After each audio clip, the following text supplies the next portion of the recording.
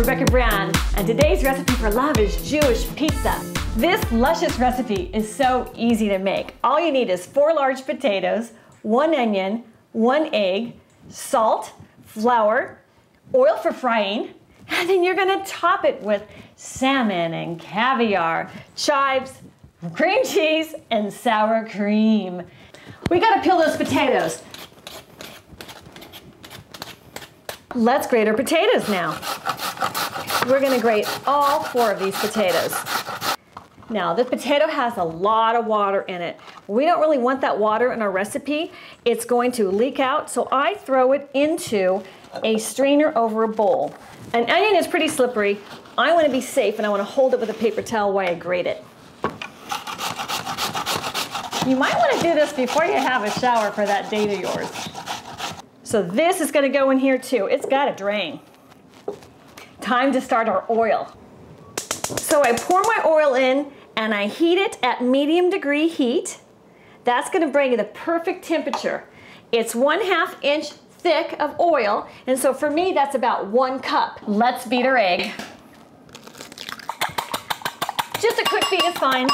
In it goes to our potato mixture. One teaspoon salt. We're gonna start with two tablespoons flour because we need it to be thick. Now, if two tablespoons doesn't do it for you, you can add four. One more press on this before I add them. Okay, they're looking very dry for me, and they feel very dry into a mixing bowl. That egg is gonna bind it, and so will that flour. Let's test that oil. So I grab a little strand, I drop it in, and it sizzles. We're in business. So I take one cup of our drained potato mixture, and I'm going to put it in the hot oil and flatten it. Watch out, it could be hot.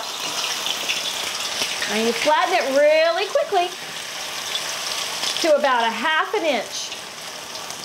You try to get a round shape. It's not always that easy.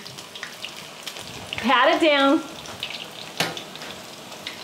Now I'm going to hover around the kitchen. I'm going to check it now and then. It's been five minutes on medium, and I see it is time to turn. You're to need your biggest spatulas for this, for turning, and you need two of them. Because you got to clamp it down. You don't want to break it up. That happens sometimes. On a date, you don't want to break up. Here we go. Ah, we got action. It worked. Doesn't always go so easy. And if it doesn't work with you and your date that way, just laugh it off. So the other side will only take about three minutes to cook. So you might want to hang out with your date over that hot oil. Subscribe to my channel for more recipes for love. So you can tell it's about done because the edges of it are going to get darker and darker. So you know on the bottom it is cooking and it's about done. You take a little peek there. So we're gonna take it out and we're gonna put it on these paper towels to drain a little bit. Just for health purposes. Ooh, yummy. Two spatulas is the trick. Turn off that oil. You don't want a fire in the kitchen and let this between you and your date. Okay, we're gonna transfer this to dress it and serve it. Upside down, action. So make sure you top your pizza with your date helping you. Because you might want a little more or a little less of one thing or another. Here comes the cream cheese. Yummy. This is like the gourmet of Jewish bagels, except on a latke. Cream cheese first. Now we add our salmon. Peel it apart.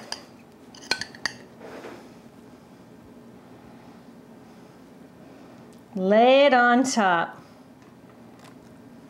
Sour cream next. Sprinkle of chives. And now for that finishing touch, caviar. I'm on a budget, so I bought mine at the grocery store. But they don't need to know that. And voila! What a sexy dinner for your recipe for love. So let's try it together. Oh, hear that crunch. Oh my gosh, that's quite a luscious pizza.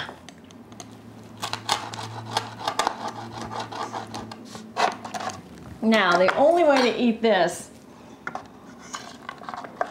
is with your hands and feeding each other. Mmm. Oh. Mm. I don't think you two are going to make it to the table. So pour that glass of wine and eat your recipe for love together in that kitchen. Do it there. Mmm, delicious. Subscribe to my channel and let's make love happen.